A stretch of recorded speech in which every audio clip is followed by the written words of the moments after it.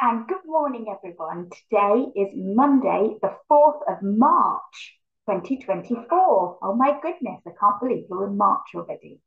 And as you can see from the screen in front of you, today we are talking about World Book Day. World Book Day isn't today, but it is this coming week on Thursday. So let's find out a little bit more about World Book Day. Good question. What is World Book Day? World Book Day is celebrated all around the country and, in fact, all around the world. And here are some fun facts. The first World Book Day took place a very long time ago. In fact, can you tell me how long ago? It was in 1997. How many years ago was that? I wonder if anyone in your class has got that right. Over 2 million of the £1 books are printed to give out to you. And this year there are 15 books to choose from. World Book Day, the reason we have it, is to help children find books they really want to read in their free time. I've got a little pile of books here, some of which I really love. Some are quite new books. This one's called Shine. In fact, I might read that to you at the end of this session. This is another lovely book called The Hare Shaped Hole. Might read that one to you on another occasion. Then I've got two others. This one, I know Mrs. Folkes Jones really likes this book, and you may have seen it on the television. The Boy, the Mole, the Fox, and the Horse. A beautiful book that's got many different pictures in it as well as writing. That book really makes me think. And then I went to my bookshelf and I found a book that's actually not mine. It was my dad's and now lives in my house. And you can tell it's old. An old book called Nonsense Songs. And it's got lots of silly poems in it, lots that I used to get my dad to read me when I was younger. Because before I went to bed, I'd have to read to my parents, and sometimes my parents would read to me. And this book is one that's got lots of nice memories from my childhood. Here are the pictures of the books that you are able to buy with your £1 token. So on Thursday, when you come to school, either in your pajamas or in a costume that you've already got at home, we don't want anybody buying any new outfits. We just want you to use what you've got. So you can come dressed up as your favourite character from a book, or you can come in your pajamas, but you must bring with you a favourite book. When you go home that day, we'll be giving you your £1 voucher. We'll talk a little bit more about where you can buy your books. Just here, there you go. You'll get your um, £1 voucher, and the shops that are near us that you can buy your books in are the big Tesco's, in WH Smith's, and also in Sainsbury's. I'm not sure if there'll be any in the little Sainsbury's, but if you were to go to one of the bigger Sainsbury's, they've definitely got books where you would be able to go choose a book and give them your one pound um, voucher and take it home with you. Or if you've got another book that you'd like to buy, you can use your £1 voucher for a discount. So let's say the book was £5, you could use your £1 voucher and the book would just be £4 instead. So be sure to take your voucher home with you on Thursday. The idea of World Book Day this year is for you to find your reading superpower this World Book Day. We want you to choose the books you really want to read listen to books being read out loud or listen to audiobooks. Make some extra time to read. That picture there says that perhaps someone's reading at bedtime or even after bedtime with a torch under the covers. Make sure you're taking books home from school to read. And have a chat with your friends. Did you like that book? Was that book really good? Is there somewhere in your classroom that you can share ideas about books that you think you'd really like to recommend? I think I've already told you that I definitely recommend this book.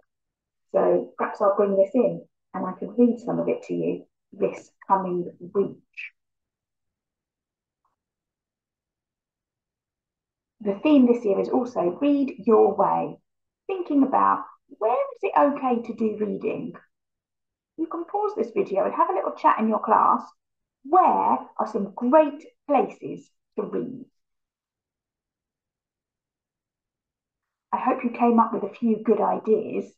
And I wonder if maybe this week we can get some photos of children reading all across our school. Wouldn't that be nice to put around to show everyone how important reading is to everyone at Summerswood? Here some excuses that we may make for not reading. I'm too tired to read. I've got too much homework to do. Just don't like to sit still on my own I get distracted by other things such as games and screens. Found anything I really like? Do you think you could say to somebody who was saying those things, I don't have enough time? What would you say to them? What suggestion would you have? You can pause the screen again here and have a chat with your class about your responses to each of these people's conversations. I bet you've had some great ideas. Reading is so important, not just now in primary school, but all the way through your life. Some of you will say, Oh, but I want to be a footballer. I want to be a doctor. I don't have to do reading. Reading is such a key part of everything that we do. Oh, here's some suggestions. I don't have enough time to read. Here's a suggestion. Read while you're on the go. Maybe listen to an audio book. Find quick and easy reads like comics, poems, or blogs. Sneaky reading. Carry something you enjoy reading around with you and see when you can sneak it in at the bus stop, waiting to be picked up, in bed. Good ideas. I'm going to be sending your teachers a link to some different authors telling you why it's really important to read. So stop here and have a little look at some of them. Good question. Where is your favourite place to read? Hmm. In the park? In the bath? Whilst out walking the dog? whilst doing exercise, on the toilet. Most important thing that we're doing is sharing our recommendations. Think about a book that you've read recently and think about something that was important about it. Did you enjoy the descriptions, the language that was in it? Was there something interesting?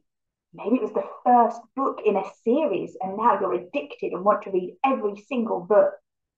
Take some time on Thursday or even this week to make sure you're sharing which books you would recommend to your friends. Let's make sure everybody picks up a new book this week. We'd also like to do a little bit of a, a monitor to see what sort of books would you like to read more of this year. So there are a, a, variety of different books here picture books, adventure books, poetry books, audio books, comic books, joke books, all of those. Sorry, went a bit too far. All of those, I'd like you as a class to tell me which of those books you'd like to have more of. We'll then be able to have a look and see how many of those books we've got in our library and see if we can get any new books to join. So pause here and you can count up how many of you would like to have more of each of these types of books, or if there's anything different you'd like us to add to our library, now's a perfect time to tell us. These are all of this year's £1 books. Have a good look and see if any of those look exciting for you. The good thing about these books are there's books for every different age group. So when you go out to the shops, you'll be able to have a look through and see which one really excites you and you can't wait to read it. I can't wait to see all the brand new books that you're able to buy with your £1 vouchers. The theme this year is absolutely to read your way. So I'd like to see photographs of you reading around our school. But actually, once I've put some of those pictures up, it would be really nice for your parents to share some photos of you reading your way at home. I wonder where your favourite place to read is. Before we finish, I'd just like you to take a moment to think about why it's so important for us all to be excellent readers. Just take a moment to think before we finish our assembly for today. I hope you've got lots of ideas and I hope that this week is a great week and that this week we show the world why we are such excellent learners at Summerswood. Thank you so much, everybody. Have a great week, and I look forward to seeing you soon. Bye for now.